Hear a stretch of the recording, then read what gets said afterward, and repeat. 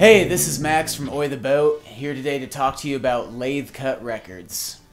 What I'm doing is taking this old technology and repurposing it to bring you some cool, unique, collectible items. And what we're doing here today is taking you through that process so you have an understanding of what a lathe cut record is, what you're paying for, and ultimately what you're getting.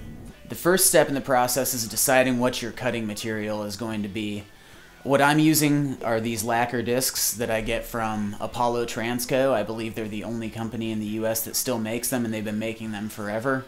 A lot of people might get uh, polycarbonate if they want to make flexies, or you know, you can use any material, cardboard. Some people use party plates. Really, uh, sky's the limit. Use your imagination. But what I'm talking about today are these lacquer discs.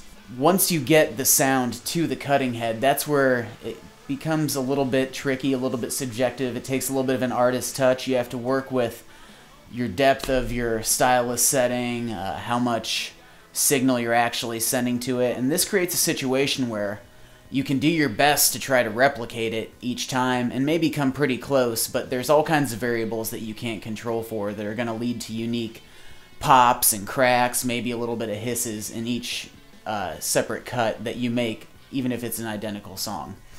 And what that creates is a situation where not only is each lathe cut record unique, but also the sound's going to degrade with each successive play. So every play that you get on one of these lacquers is going to be unique as well.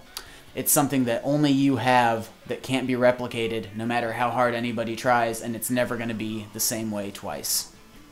Alright guys, that's it. That's the quick and dirty on how these lathe cuts go down. Be on the lookout for my new subscription series, Ruff Cuts, coming your way here in the future.